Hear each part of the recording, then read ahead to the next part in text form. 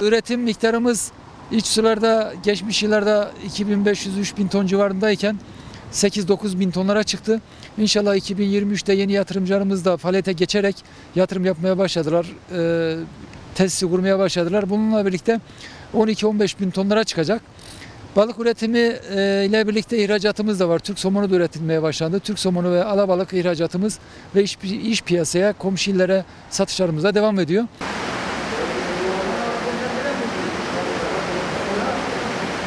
...2020 yılına ürettiğimiz balık 52 milyon... ...ama 2023 yılına üreteceğimiz de 60 milyon civarında bir yavru balık üreteceğiz.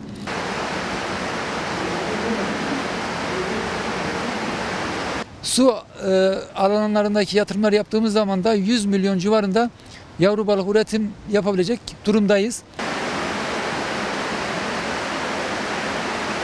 Bu yavru balığın yanında yumurta satışları da var. Özellikle somon yapılması için kullanılan alabalıkların dişi olması isteniyor.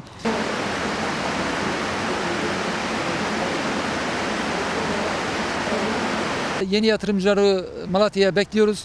Altyapımız var, yavru balık üretimimiz var. Tabi bu yavru balıkta üretimimiz e, ya, e, balık üretimine dönüştürülmesinde sayı olarak biraz fazla. Bu fazlalığı da yine balık alabalık üreten komşu illere ve civar illere biz e, yavru balık olarak satıyoruz Malatya'dan.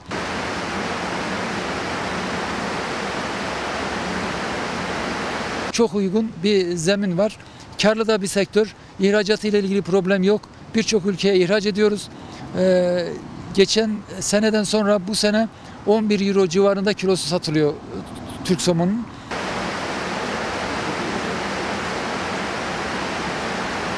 Kaynak sularımızın bol olan alanlarda biz kaynak sularımızda havuzda balık üretenleri biz yavru balığa yönlendiriyoruz. Onlara teknik destek de sağlıyoruz. Ee, danışmanlık da yapıyoruz.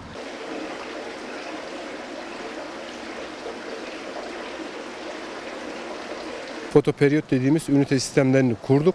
Bu sayede şu anki kuluçkane kapasitemizi ikiye katlamış durumdayız.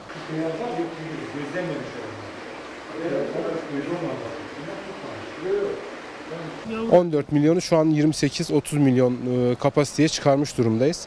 Kurduğumuz sistemdeki e, amaç balıkta ışıkla, gece gündüz olayında yanıltmayla e, yılda bir defa normal şartlarda alınan yumurta yavru verimini yılda iki defaya çıkarmak. Bunu da şu an için bölgemizde başardık. Bunun üzerine şu an piyasada çok ciddi talep gören dişi yumurta, dişi yavru olayını gerçekleştirdik.